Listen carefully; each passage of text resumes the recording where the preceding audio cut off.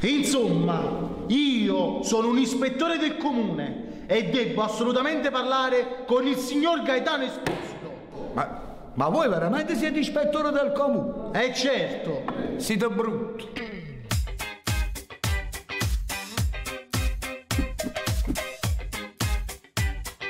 Ma si può sapere voi da Gaetano cosa volete?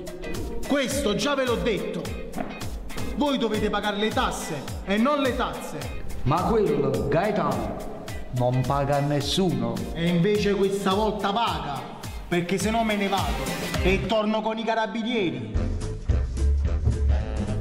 Buongiorno, mi hanno riferito che mi cercavate? Il signor Gaetano Esposito, Per servirvi di che si tratta? qui tra tasse non pagate e interessi siamo intorno ai 10.000 euro. 10.000 euro. E come si fa? Dove li troviamo tutti questi soldi? No, signore, non ci buttate in mezza via. Facetelo poi di vostro. Sentite, voi mi state simpatico. Se parlate con un avvocato, ci possono essere degli articoli che vi possono agevolare. Ma si tratta di casi disperati. Eh, più disperati di noi, dove li trovate?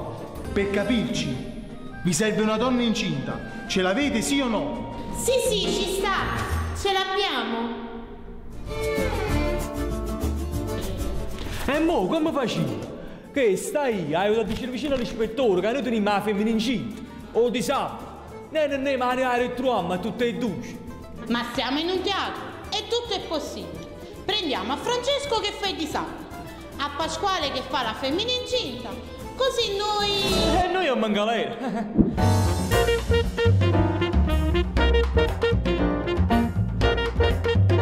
Ah, Pasqua, tu hai capito? Ehi, guarda me. Così è sì, e a così è no. Hai capito? E gira la capuzzella, gira.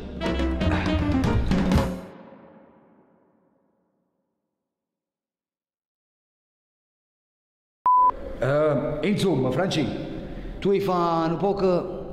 L'ha già spiegato. Devi fare un po' che... a parte una guaglione ritardata. Ho capito, state senza pensiero! Eh, ma a posto.